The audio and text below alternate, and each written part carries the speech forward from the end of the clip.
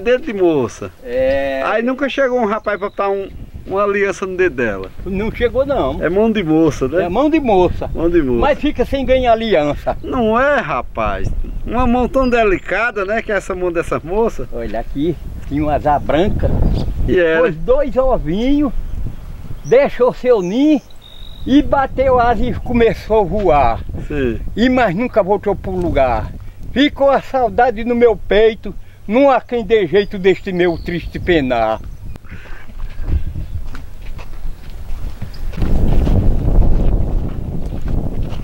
Isso aí é um pé de pinha. É um pé de umbuzeiro, E tinha um pé de pinha aqui. um pé de pinha. O senhor planta milho e feijão ainda ou não? Planta. Planta. E aí, só falta cultivar porque a lavoura tá nova. Mas, ah, mas já tá plantado. já tá plantado. Terra boa, né, rapaz? A terra é boa. A gente dentro na enxada ela não reclama nada. Não é, nem chora. Agora, repara, faz uns 10 anos que eu plantei esses capim, eu nem gelava e tá desse jeito. Aí por causa disso, E durante esse tempo teve uns anos seco, né? foi, mas esse capim Sustentou. é como lajeiro, aguenta tempo ruim. Aguenta tempo ruim. Já tem milho grande ali, rapaz. Agora fui aí. Aí eu fiz essa planta, porque quando for mais adiante eu vou comprar uns 12 garrotinhos, porque tem no capim, tem na palma e tem na paia de milho, É, aproveita, O né? tá- é, tá com tudo. Tá com tudo. que eu ia comprar esse. Inventei de comprar isoveia. Sim. Ô, mas a isoveia é alimento para cachorro de. de- Esse, esse bodinho aí dentro do milho, não vai comer o milho, não?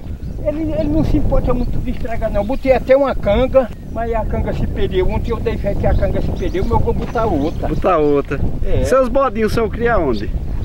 É ali. Ali. Lá. Isso é mandioca aqui no meio do milho, é? É macaxeira. Macaxeira. Mas o povo chama mandioca.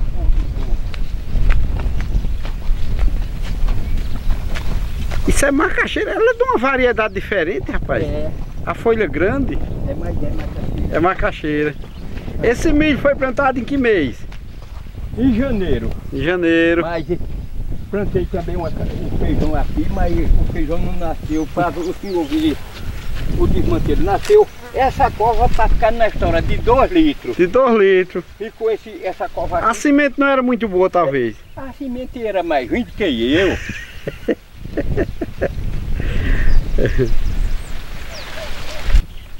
o lugar é bonito, não é? Ficar bonito, uma planície, rapaz. É. O senhor morou aqui mesmo nesse sítio durante alguns anos? Morei. Quanto em- tempo? Em 66, é porque há, há 10 anos eu inventei de fazer uma casa na rua devido à minha velha e Sim. eu.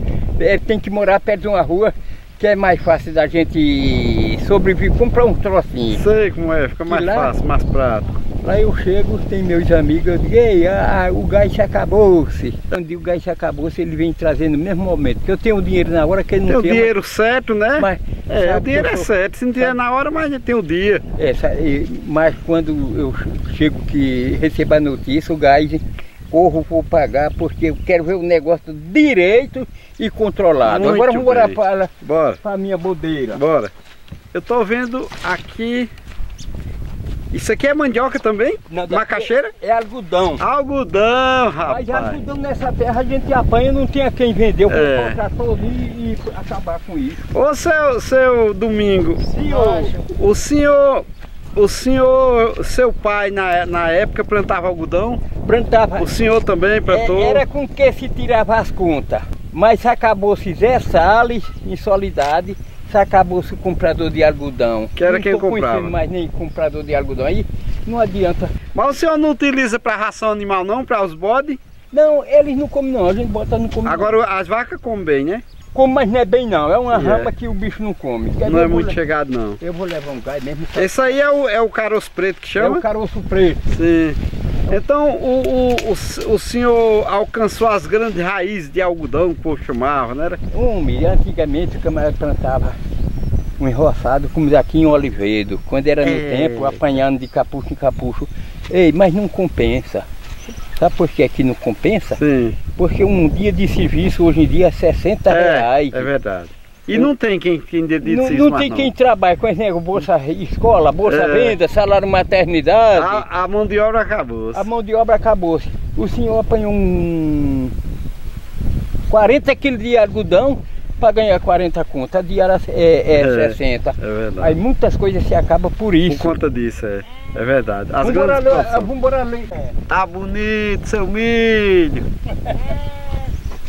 Eu pensava. Ai, que fantástico. Tá bonito seu milho, viu? Tá. Vamos lá nos bodes. Ah, os bodes nós vai gravar daqui. A propriedade aí é sua ainda, do lado de lá da seca? É até naqueles mameleiros, é minha. Ah, sim, é sua. É, vai ali, Hum, vai ali naquela jimburana, até naquele mameleiro, sim. daqui pra minha casa. É grande, rapaz. É, não, é mais que um chão de casa. 4 hectares, terra quatro muito hectares. boa, terra 5 metros para 4 para hectares. 4 hectares. Terra muito boa de plantar, de, de, É boa né, demais. produzir, né? É boa. É boa. E barreiro, o senhor tem um barreirinho? Tem um uma barreiro acolá, mas é noutra terra, isolado. Já é outra terra. Também eu boto uma lata d'água para. Tinha 12, mas o cachorro matou. Matou 5. Sim.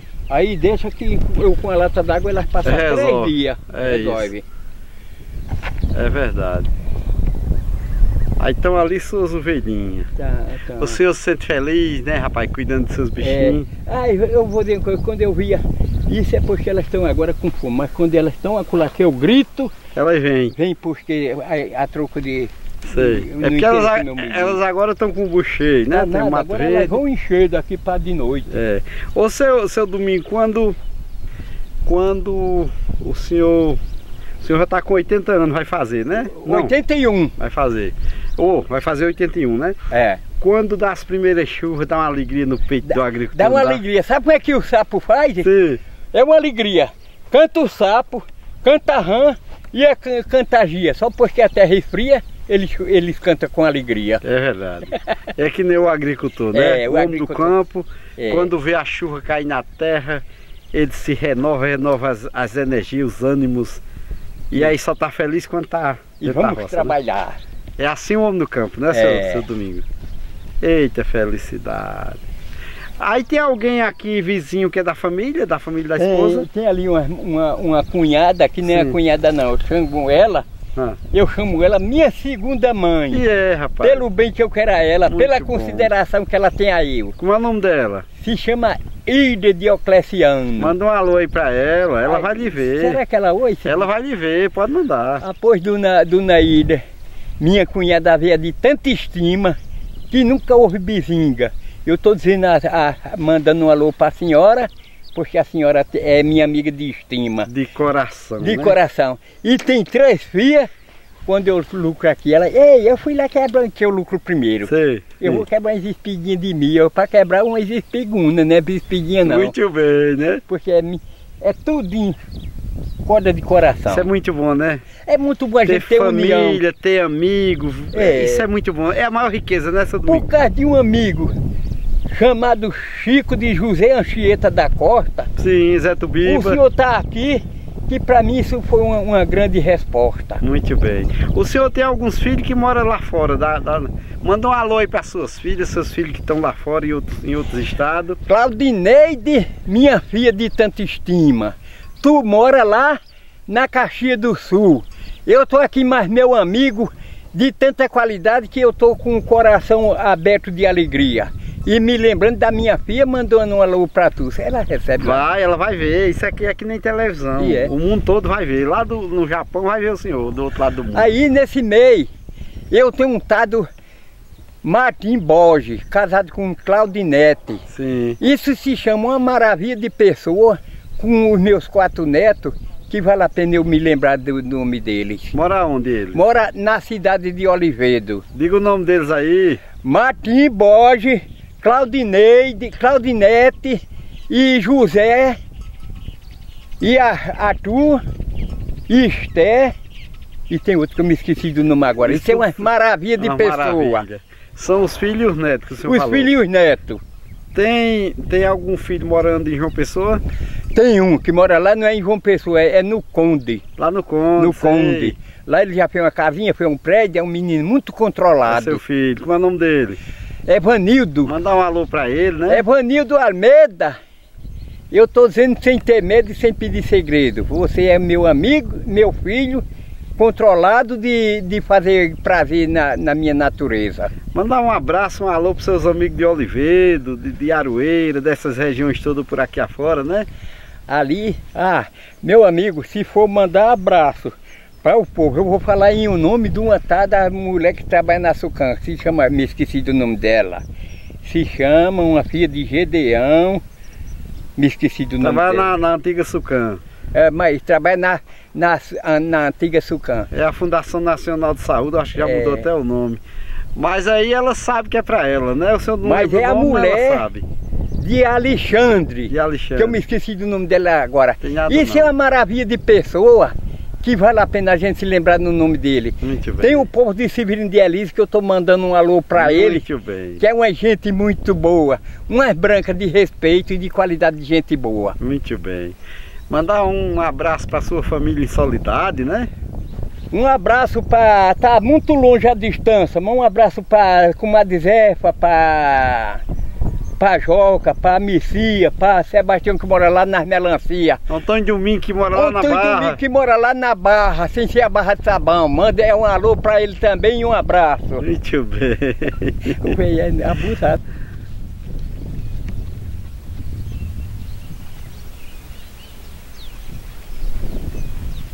viu? A educação. Me diga, seu, seu Vange. Seu Vange, quando o senhor era jovem, o senhor gostava de dar umas caçadas ou não? Eu caçava. Pegava muito, muita... Pegava um pebinho, às vezes pegava uma tacaca, que era um perfume que passava Eita, três anos cheiroso. Mas as caças do Cariri é muito fraca. É, e hoje em dia é proibido, né? Naquela é época era, era, liberado, né? Era? Olha, o se disse é que matou um cachorro que pegou um bode ele vai para cadeia. Vai para cadeia. Quer dizer que o, o homem do campo é mesmo que está morto, é. não é? Naquele tempo vocês caçavam porque primeiro era liberado e depois tinha necessidade, né? Era. Mas o povo caça. O tempo era difícil naquele tempo, né? O... Mas me diga, o senhor tinha cachorro bom de caça naquele tinha tempo? Tinha um cachorro bom. Sim. Mas acabou-se acabou tudo e eu vou atrás mais de peba. Se um peba quiser vir atrás dele, eu venho, mas eu não vou atrás não dele. Não vou atrás dele mais não. não. Me diga, quem eram seus parceiros de caça? É seus irmãos? Era o Antônio de Compadre Lino, era Zé, que era o meu sogro. Sim. A gente virava o mundo caçando peba. Como era o nome do seu sogro? Lino Diocleciano Almeida. Sim. Me diga, a comadre Fulozinha alguma vez atacou vocês na, na, na, dentro do mato, não? Não, senhor, não chegou a atacar. Agora tinha vez de a gente chegar, se arrepiar e voltar para trás, sabe por que via? Sim. Os cachorros acuando tudo ia mais num pé de pau sem ter nada. Sem ter nada. Isso a gente via direito. Via, via. No, no, era, tá. era, Sim. era. Os caçadores sempre falam disso. Fala, não, isso aí é uma coisa é. existe. O senhor levava uma peinha de fumo para dar para ela? Não, eu não fumava. Não fumava não? Ela que se virasse lá sem acender o fumo no cachimbo dela. o cachimbo dela. Ô seu Vange, e botija? Já ganhou alguma vez? Ganhou alguma botija? Não? Ainda não, senhor. Mas no dia que a irmã dela, o senhor quer? Se eu não... Tem coragem? Tenho, eu acho que eu não tenho coragem não. Tem diz não, seu Vange? Diz que se vê presepe para medonho. Mas senhor, bem que é puxadorzinho, eu, eu adoro, viu? Ô seu Vange, e assombração, o senhor já viu alguma vez? Assombração? Sim. Já teve, já, já teve medo de aima alguma vez, não? Não tive não, senhor, ainda Nunca não. apareceu aima Nunca não, apareceu senhor? não. Nem para dar uma botija boa? Nem, nem ruim. Mas se der uma botija e disser que é de ouro, o senhor vai lá, Se vai eu tentar. for e não aparecer muito presepe, o senhor arranca. que eu vou contar uma história conta, de botija. Conta. Diz que um homem era muito preguiçoso. Hum. Minha, e a velha dizia, meu velho, vá trabalhar para dar de comer seu filho. O que tiver de vir para minha mão, venha. ele dizia. Ele nunca vinha. O cabelo era preguiçoso. Aí num dia ele sonhou.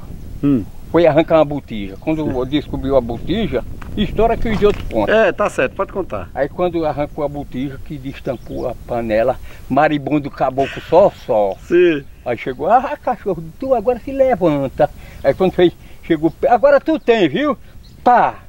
Quando sacudiu o pote, no, no, a panela nos pés dele, era ouro só só. Ele, ah, eu não disse que o que era para a minha mão vinha.